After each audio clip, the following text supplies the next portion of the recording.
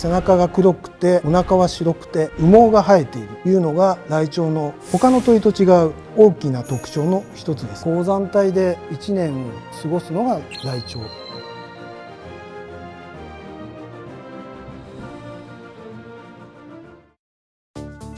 えー、静岡ライチョウ研究会の朝倉と言います。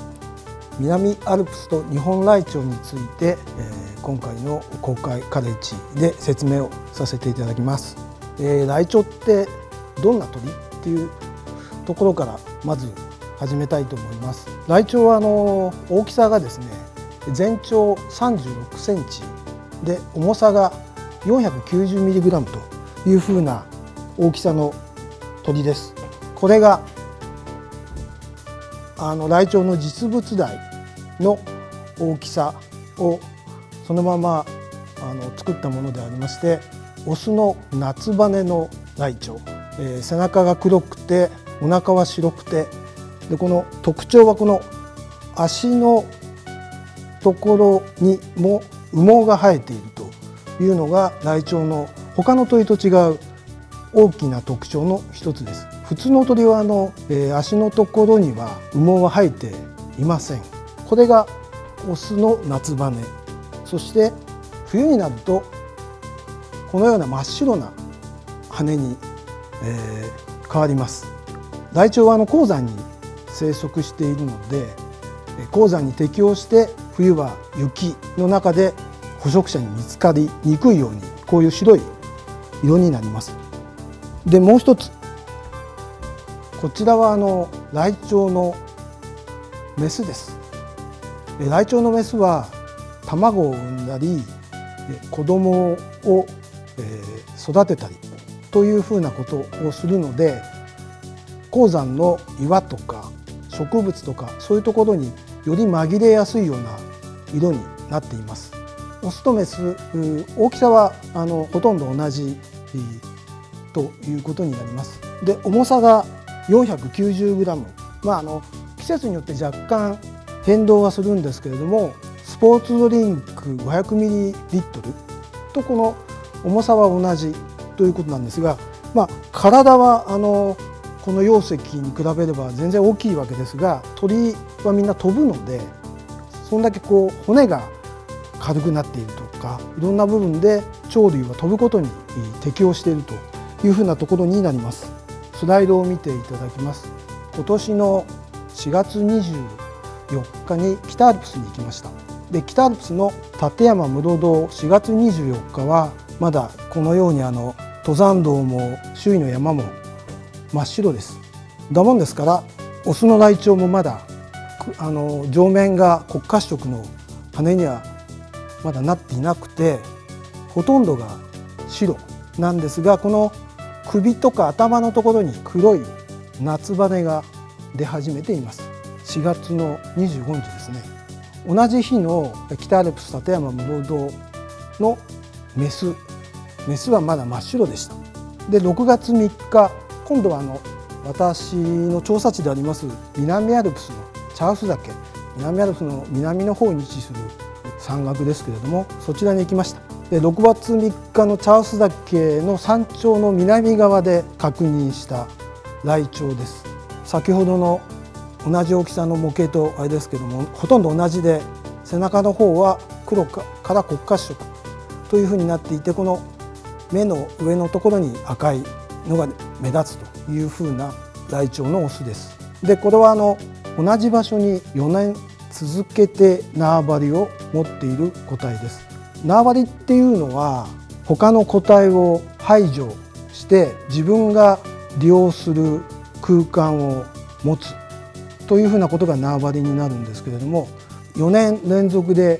確認されたのはこの個体は同じ場所チャウス滝の南でそういう縄張りを4年連続で持っています。そしてこれはあの1年違うんですが昨年の6月6日にチャウス岳にハイジの丘という場所があるんですがそこで縄張りを持っているオスです。であの上面はやはり黒っぽい色お腹は白っていうふうな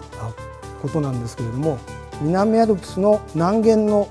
地域で最も最高齢の年齢11歳以上ということになりますでライチョウはあの北アルプスなんかでも調べられている中では最高齢は12歳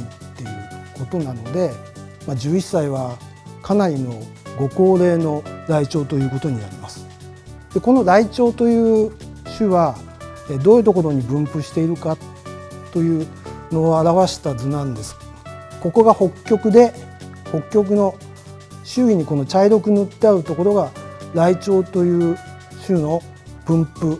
主な分布している場所になります日本は北極からだいぶ南に下がった位置にあるわけですけどこの位置というのは一番南にライチョウが分布する国ということになりますですから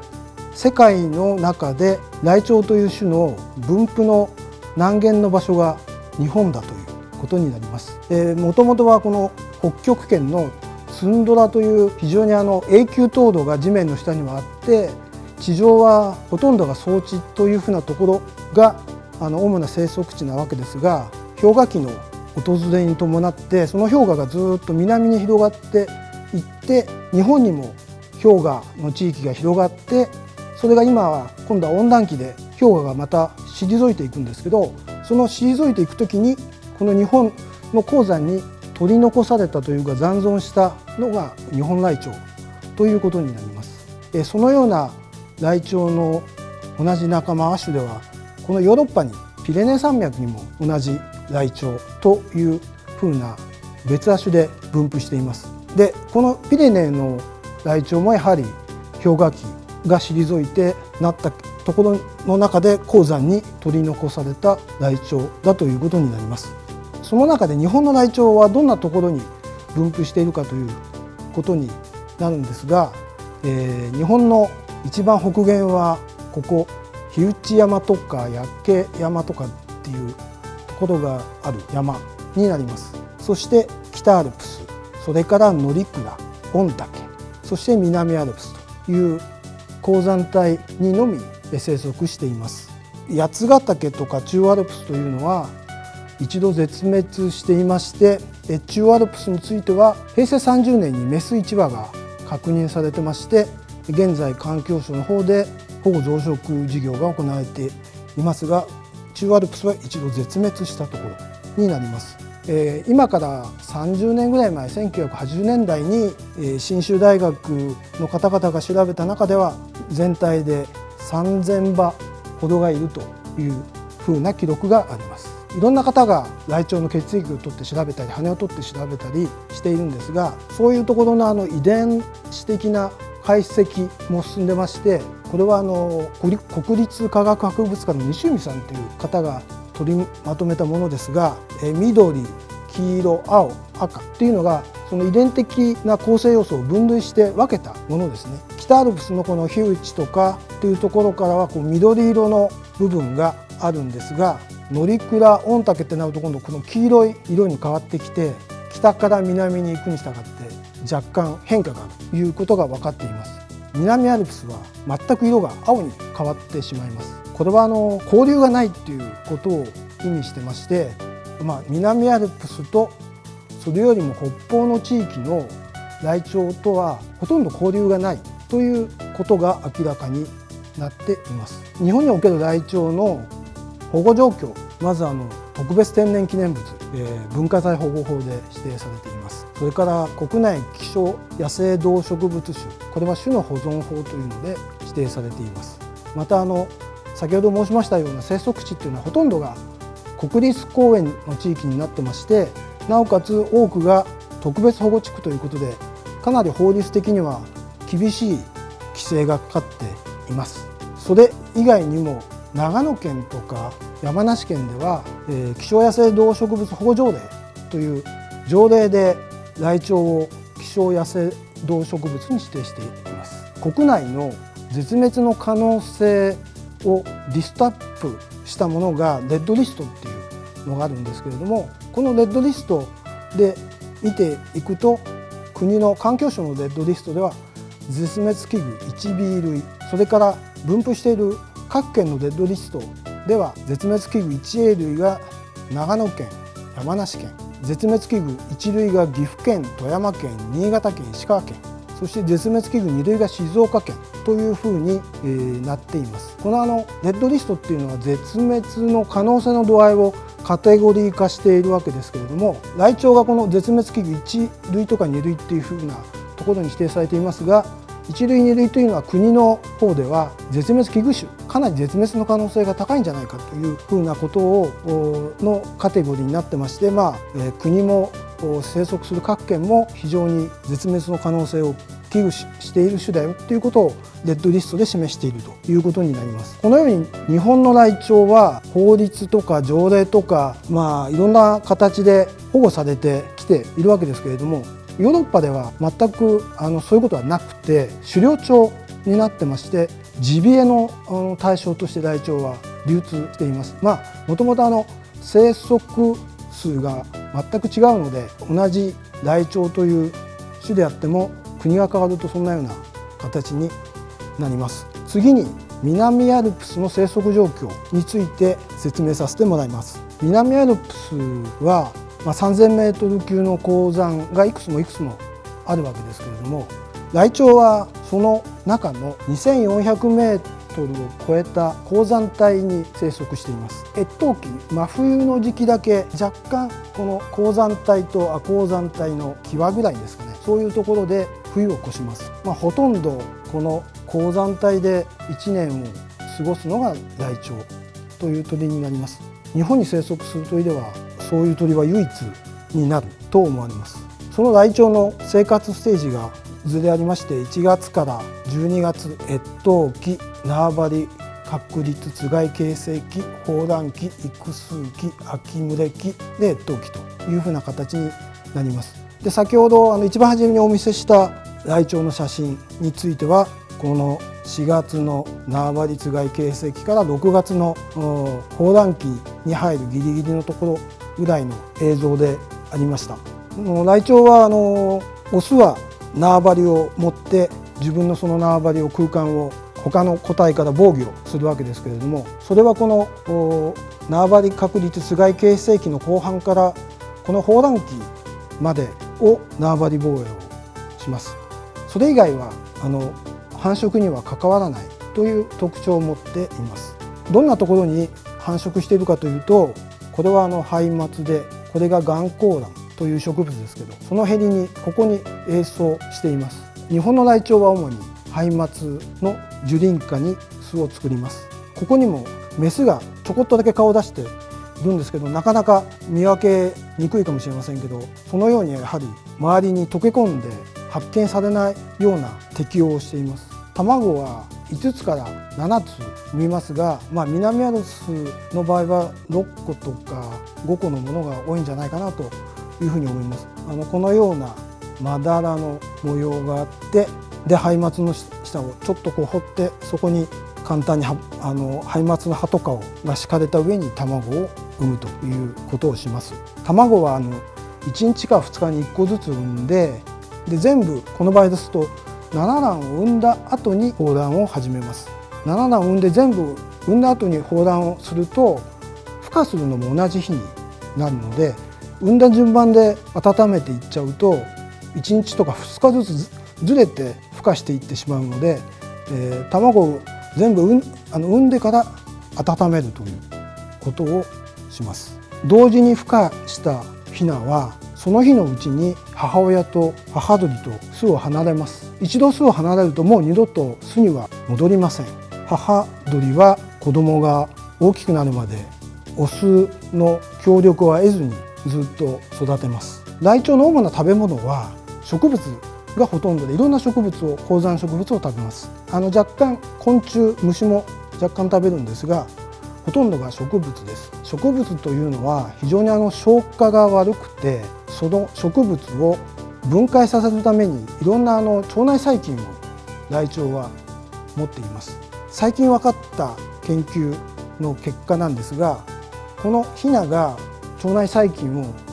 取り入れる方法はここの母親の糞を食べるということをして体の中に腸内細菌を取り入れるというようなことがの分かりまし分かってきました。まあ、糞はもういろんな種類がありまして普通の糞とかそれからあのメスが放卵している時にのみ出す砲弾粉とかでそれ以外に盲腸粉という粉がありましてあの盲腸のところの内容物を排泄するんですがその盲腸粉にそういういろいろなものが入っていてそれをヒナに食べさせるということをします。で1ヶ月くらいするとこのくらいの大きさになってまあ2ヶ月くらいで親鳥と同じぐらいの大きさになっていきます。南アルプスのライチョウの先ほど言いました縄張りというふうなことのことを信州大学の名誉教授の中村先生が過去から調べていましてそれがこの図です。全般的にこう減少傾向のこのこれは図になっておりますが特に見ていただきたいのはこの北部の白根三山のところ北岳愛野岳能登井岳北岳と能登井岳をだけを出したやつですがこう急激な減少を示しています。捕食者による影響だっていうふうに言われてましてキツネとかテンとかがライチョウを捕食したということが言われてましてその対策として南アルプスはだいぶ前から北岳とか愛野岳の辺ですけど捕食者の捕獲とかっていうこととあとゲージに先ほど言いましたあの巣立ったところの母親とヒナの母子群を夜はゲージにしまって捕食されないようにして昼間は外に出すみたいなそういうことをやって現在はかなり回復傾向になってきているということが分かってきています。南アルプスはあの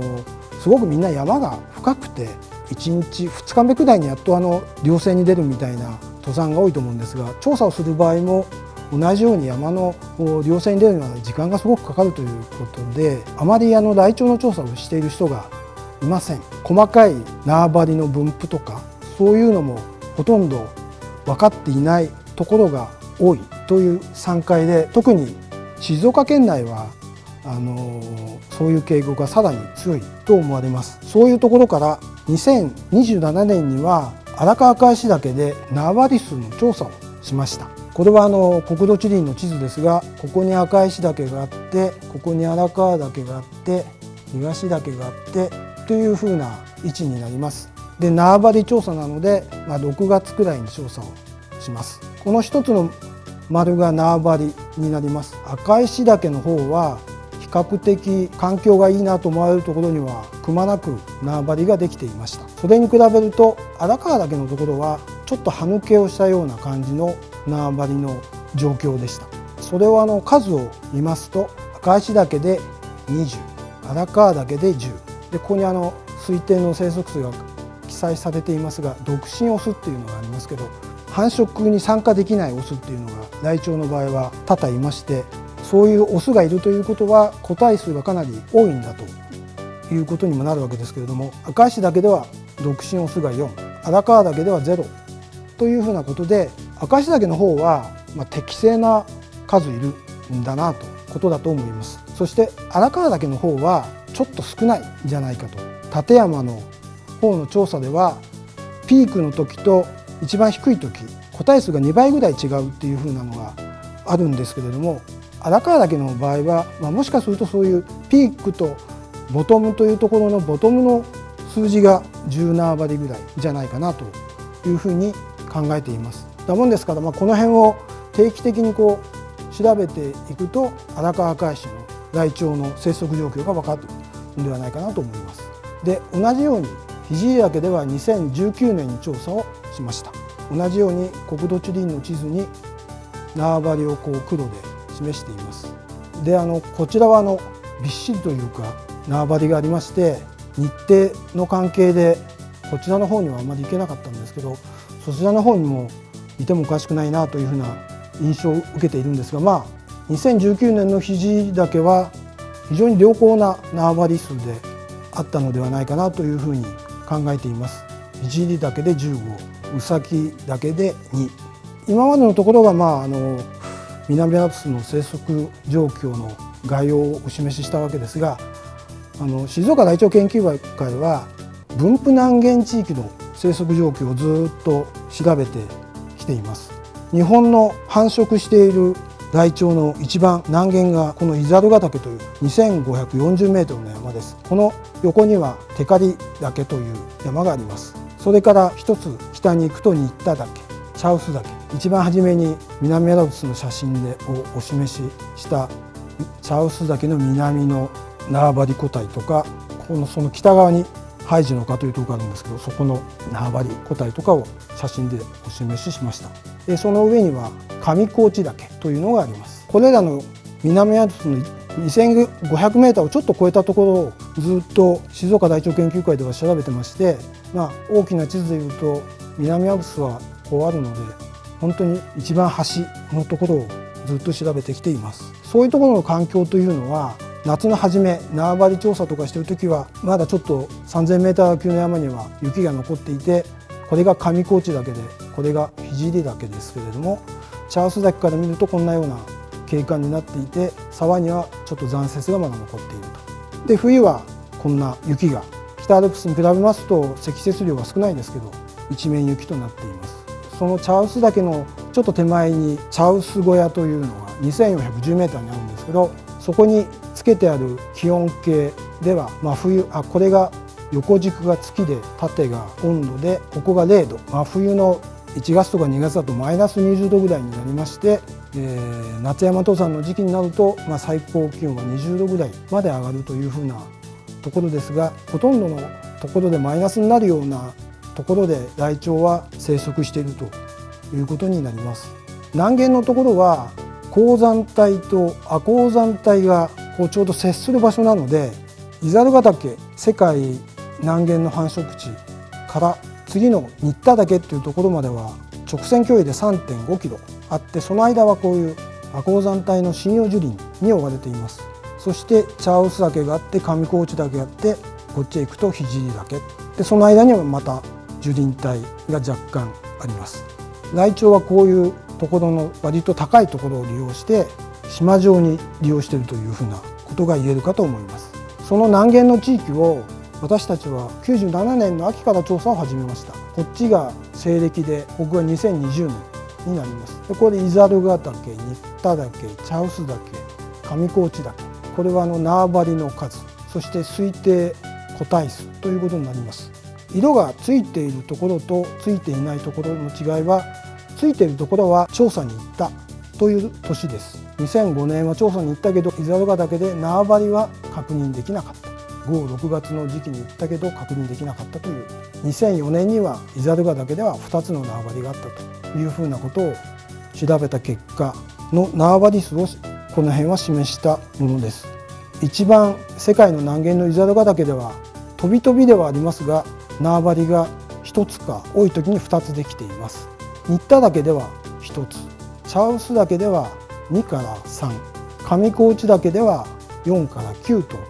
いうふうなことになります。このようなあの縄張りの数の確認からするとライチョウの南限地域では絶滅に向かっているというよりは年によっては繁殖して、え、年によっては繁殖しないということの繰り返しをしているんではないかなと。特にイザルガ岳とか新田岳そしてチャース岳とかぐらいまで北に上がってくるとある程度安定して毎年縄張り行動がされているというふうなことになっていると考えます。そんなに生息状況は縄張り数ということで言えば変わっていないんじゃないかというのが結果と思われます。